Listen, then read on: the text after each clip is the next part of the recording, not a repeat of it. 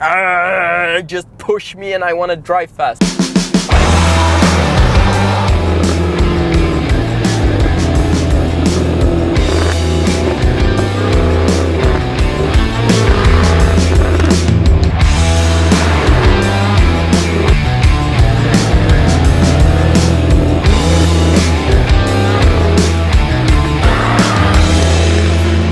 We could have ended on that, but no.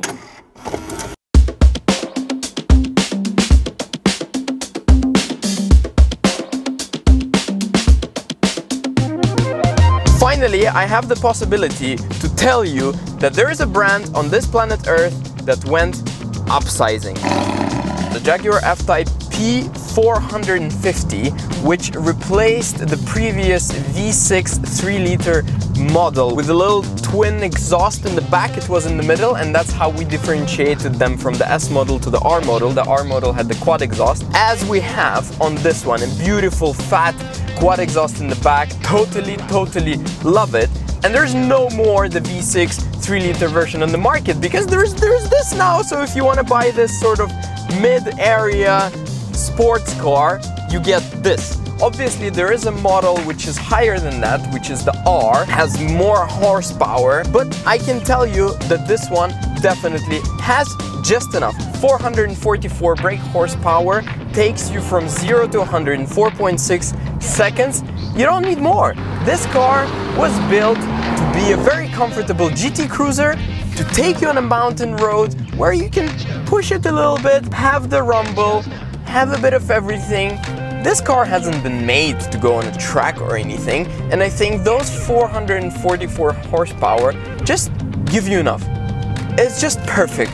You don't fly to space, you can enjoy the power, you can play with it, you can do anything you want, and on top of that, you get a decent sized boot. I can't really say it's huge. It's fine for like two suitcases. Jaguar made a very strong comeback when they first released the F-Type nearly 10 years ago. Today, instead of following the game, they made their own. Massive 5-liter supercharged V8 up front, two seats comfortable enough for your mother-in-law, basic tech just right for your needs, and good materials which won't melt after staying 2 minutes out on the sun. You also get a cute spoiler, provides enough downforce for um just provides enough downforce whenever you're taking a sharp turn in the parking lot. Point. However, a feature I didn't enjoy at first and then started to get annoyed about is the air vent. Despite it being very cool and discreet, I don't want to wait for the mechanism to do its thing when I need hot or cool air instantly. But despite these things, the new model is just a very minimalistic restyle with a new front and new lights at the back. And most importantly, it is now a four-wheel drive. Would I buy this car in Switzerland? It sells for 128,000 Swiss francs, brand new. I think it's quite a lot for the car, as considering we have already the previous generation on market selling for around 80,000. You can even get an SVR for this money.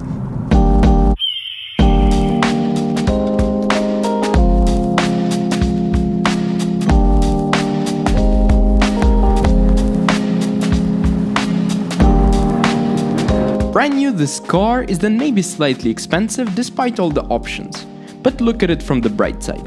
You will be driving what is probably the last supercharged V8 made in Europe, not considering Brexit of course. So to enjoy this symphony, I offer you a moment of silence to listen to the mighty V8 roar once again.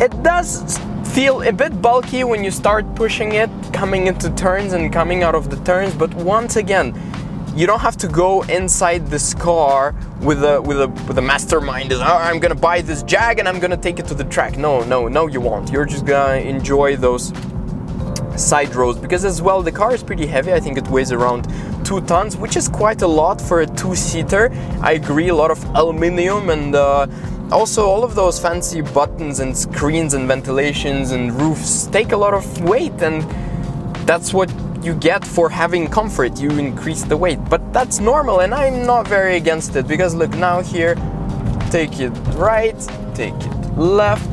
Just for the audience who cares about the tech stuff, I would like to point out one important thing for you guys. Touchscreen system, I would say the resolution could be a bit better, but it works fast and I already appreciate that, which is kind of nice. Plug your phone, you can play around with navigation, everything works well.